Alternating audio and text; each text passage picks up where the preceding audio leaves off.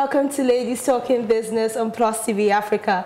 Our guest on today's episode is Tracy Nwapa. Tracy is the owner and creative director of Interior Culture by Obiageli.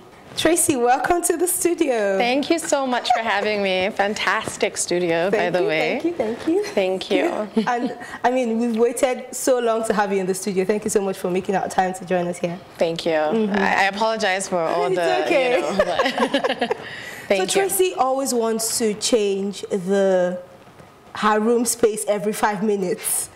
What brought about the transitioning from TV to interior design?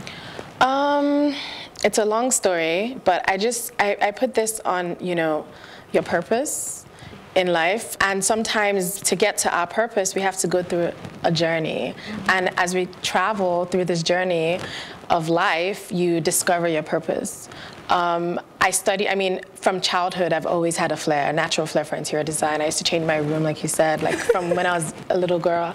And um, I decided at some point, you know, I would, so I, I you know, I said I was going to be an, an architect because my dad's a civil engineer and we, I come from a family of builders. My dad's a civil engineer, my uncle's an architect. Mm -hmm. um, and I just always had that flair. But I'll tell you a secret. Well, it's not a secret anymore. when I went into college, um, university in the United States, um, I had to, to study architecture, you have to be really good at math. And I am so horrible at math. So I was forced to study interior design as a minor. And I took on broadcast journalism, which is the next best, best thing um, as my major. So obviously, being that I studied broadcast journalism, that has to that has to do with being on TV. So when I came back to Nigeria, I was pursuing a career in broadcast journalism, and um, when I did my NYSC, I was supposed to serve at NTA, so I, okay. you know, got a little bit of experience. I worked at NN24 and various other TV um, networks. Down the line, I just everything was just not working out. Like every time I would start something or go for auditions, I never got it. Like people just think, oh, Tracy just appeared, you know. So I started producing my own show, and I just, I guess, I wasn't as passionate because it was it was just tedious and mm. I just I wasn't passionate passionate enough to to push. To push. And through that, um, my brother actually, because I used to do my house all the time, I'll help my mom, even as a young adult. Um, and my dad, um, in my, in my brother's company at the time, they were looking for interior designers to renovate their office space. And this was back in 2013. And he was like, Tracy, I think you should apply. I think you should do it. And I was like, are they going to choose me? I'm not really a certified interior designer. And it was a big, it was like a big job at the, it was an oil company. And I was like, you know what, let me try. So I did a 3D, went over there and I got the job out of three uh, people bidding. So when I did that, I was like, wow, I really like this. And it was good money. And I, I enjoyed like just creating a space like from nothing to something. And mm -hmm. I was just like, you know what, this is what I want to do.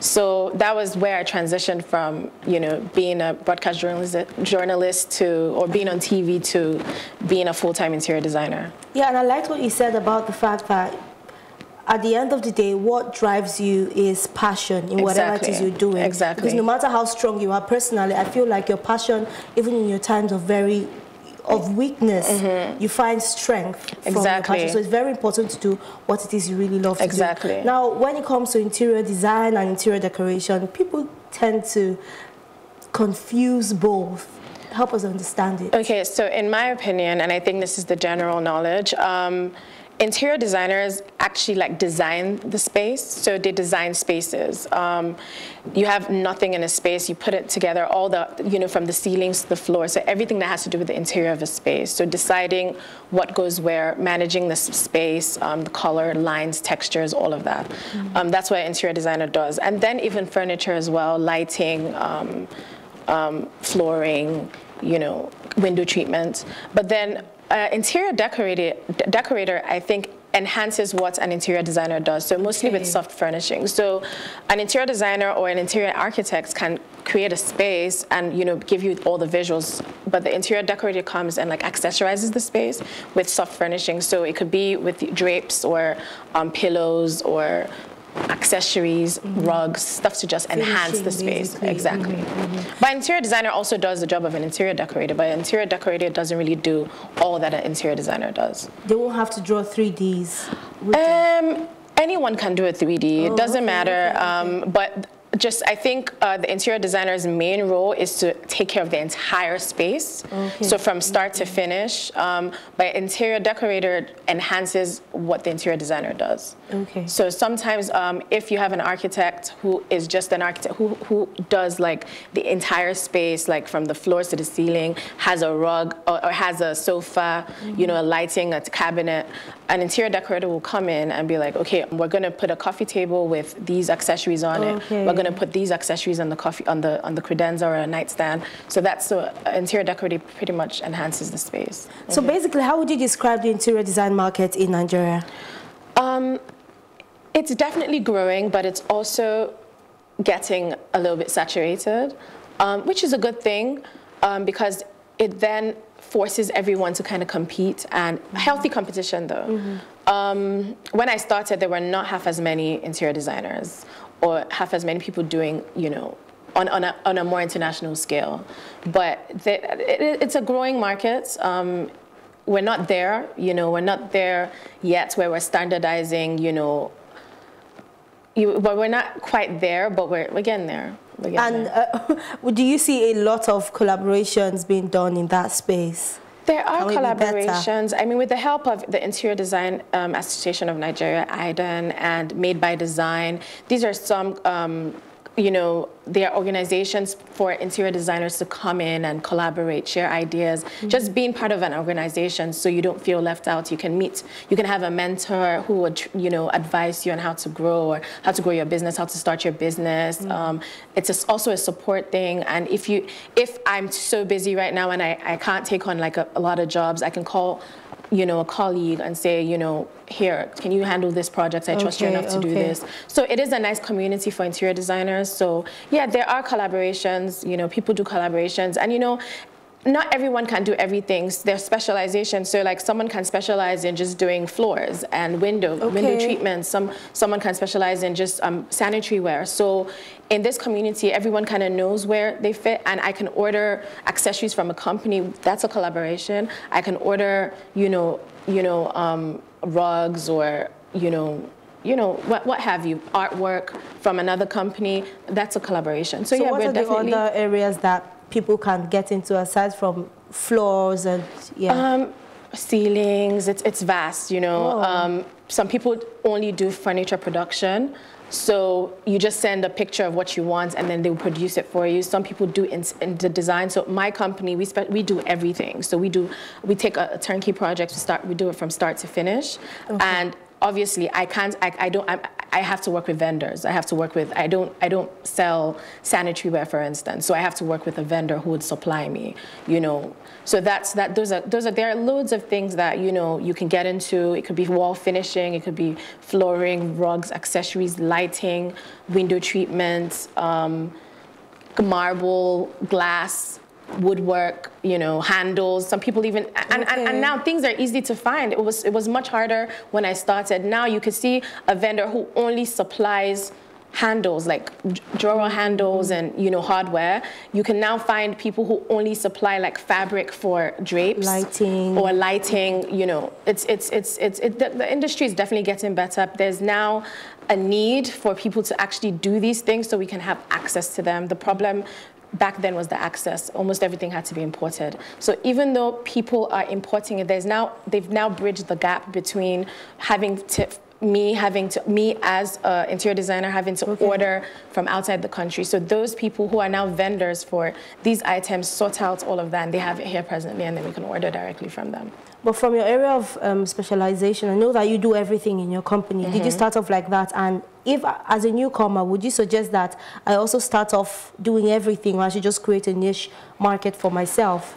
You see, when I started, it was kind of different. So I kind of had to do everything. I still do everything now. But for someone who is starting out now, you have to go with what you're good at, you know, your strengths. So if you want to do everything, fine. It's kind of difficult to do everything because it's a lot of things to source. But um, you can do everything, or you can decide that, you know, I want to just focus on kitchens or I want to focus Okay. on just bathrooms. Or whatever your strengths are and wh- where your passion, you know, lies, That's where you should follow. But there's no, you can decide to create a niche for yourself. I know people who only do um, fabrics that they've tie dyed, and that's all they do. And I know people who do full spaces. I think it's not so much finding a niche for yourself; it's more finding your own style you know so you're not ending up just copying um, inspiration pictures mm-hmm, online mm-hmm, and mm-hmm. Uh, you know you're you're finding your own style your own so people because i feel like my style should be unique yeah it should be um, I have a signature. So even though creating the same design or okay. and, and we're theme designers, so we can do anything. We could be Afrocentric, we could be minimalist, we could be mm-hmm. contemporary, mm-hmm. transitional contemporary. It doesn't matter, but there's still a signature stamp that people will be like, "This is IC." You know, mm. this is interior culture. So that is important, you know, finding yourself as opposed to you don't look like, it's just like, you know, your sister is an interior designer, a, a, fashion, a fashion designer. designer. Mm-hmm. She has a, you know, she has a style. So I see some work clothes that she makes and I've, and I've worn certain times and I would know automatically now just based on working with her that this is Karen Ubani. Mm-hmm. You know what I mean? So it's more so finding your own style and yeah, then that can now transcend to your niche as well. Mm-hmm. Okay, I like the fact that this has been explained. Taking a look at the Nigerian interior design space mm. and juxtaposing it with a Cape Town, for example, known as the design capital of the world in terms of scale of operation, you can see that massive gap. Don't mm. you think we should be doing a lot more in Nigeria? Yes, I mean, of course, we should be doing a lot more, but it takes time. Um, I think we're headed in the right direction like I said, in 2013, 2014, we didn't have everything that we have now. But look, it's been, what, seven, eight years, seven years, and we have more now. So give it another, Cape Town wasn't built overnight. Mm-hmm. Um, you know and now i think we are now understanding that there's a need i think people didn't care before how their spaces looked it was a nigerian thing where you know you build a house you just put your chair you put your table you put your fan you put your but now people are trying to pay attention they want the detail they want the detail they want a nice space even stores now hair stores or, mm-hmm. or, or, or commercial stores they now understand the importance of an aesthetically pleasing environment back then people didn't care. People just wanted to just do the bare minimum. But with the help of social media I, and the internet and just being connected to the world through social media i think people are now realizing that it is important. It's not enough to just sell amazing food. The space has to pull you in because you're pulled in by the space. So if the space take good pictures exactly exactly mm-hmm. exactly. So you're pulled in by the space. That adds to the experience before you can enjoy the meal or you know so i think people are now realizing the importance, and because of that, a gap, you know, there's, there's, this, there's this opportunity that has been created for people like me to excel in the industry. So with that being said, I think as time goes on, we'll keep growing, and before you know, we'll get to we'll get to the standard or the level of you know Cape Town being the design capital. I think one one, one of the spaces in my head now is tea room, for example. Okay. You go in there, you know that oh my goodness, I can take good pictures while having a very nice exactly. meal, right? Exactly. All right, so we're going to take a quick break now. Mm-hmm. We'll take a quick break. You're still watching Ladies Talking Business on Plus TV Africa.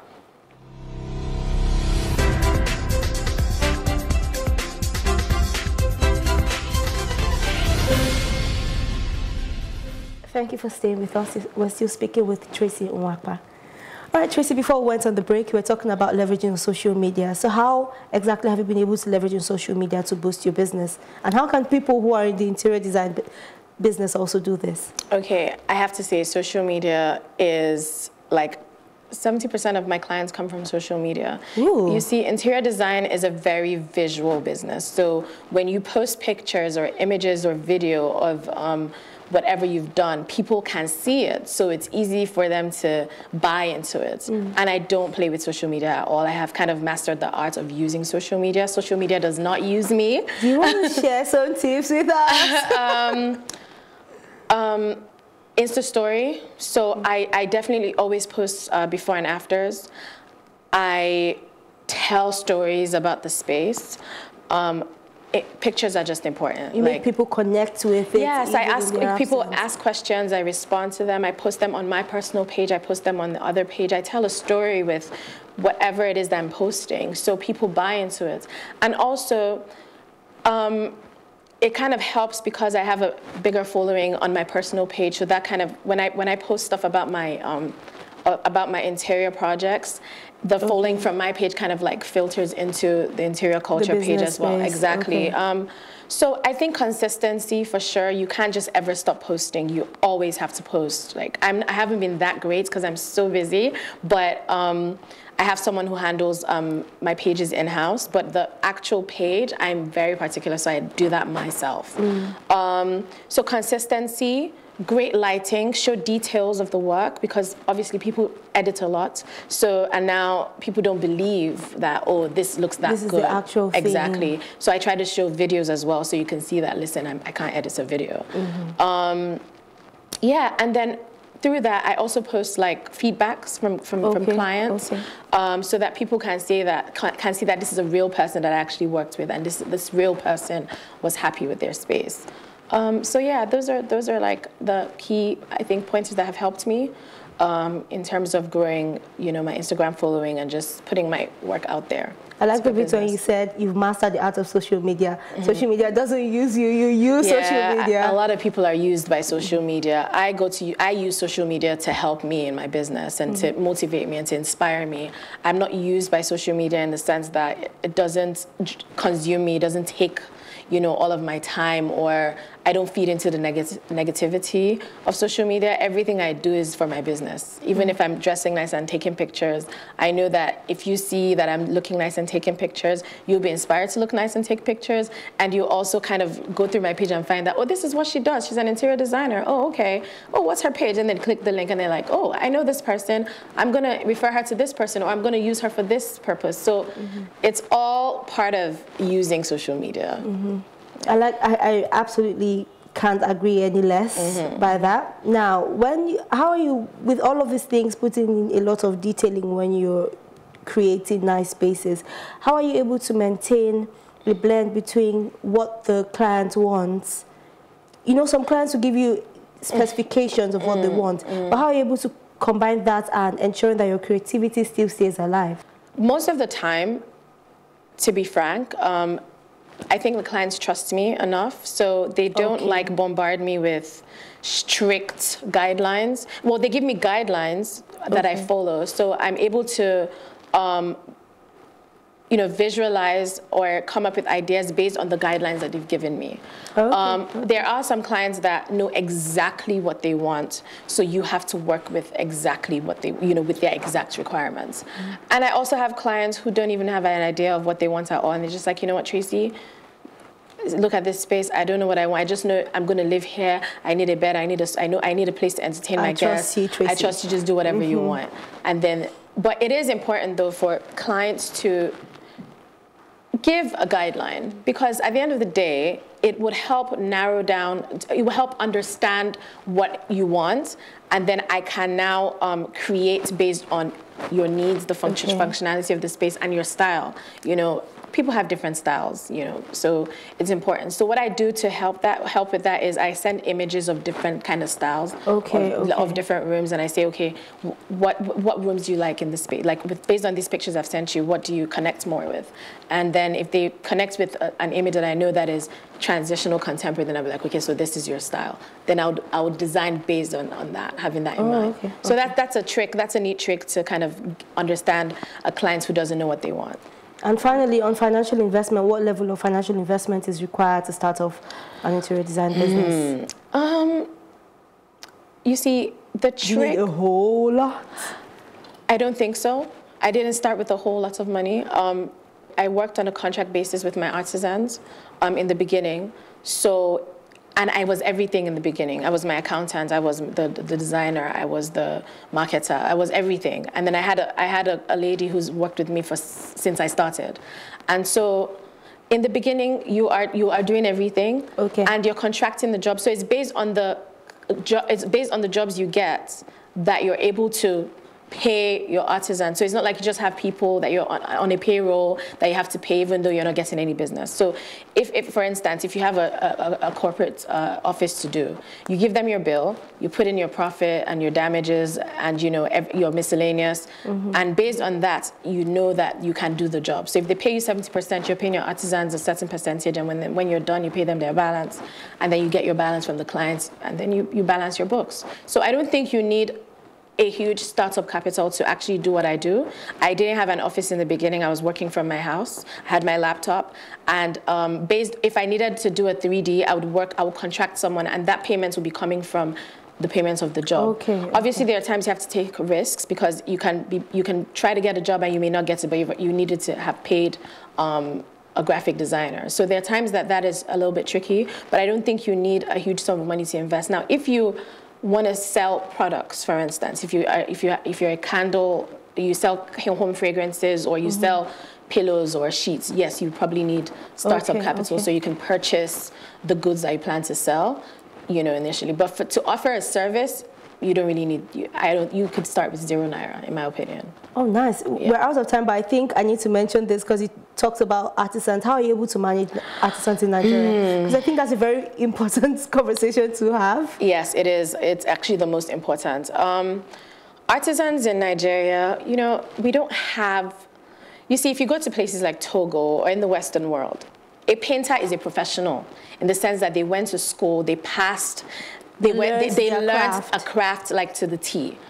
Here, we don't really have. I don't know if we have. In my experience, I, I don't know of any like you know school for craft for you know art, you know for for artisans. I don't know of any school where you can learn how to paint. You can learn how to, to study carpentry. People are people that are carpenters now or in the furniture business now learns from an apprentice who learns from an you know who, who sorry they learned from um, their boss you know as an apprentice and you know It just on and on and on. like so they don't really learn the actual skills. Like I can have my screeder come here now with this table here and these chairs. He's going to start screeding. He doesn't cover up the he doesn't cover up the existing furniture. So I had to take my time to teach them and be like, you know what, this is the right way.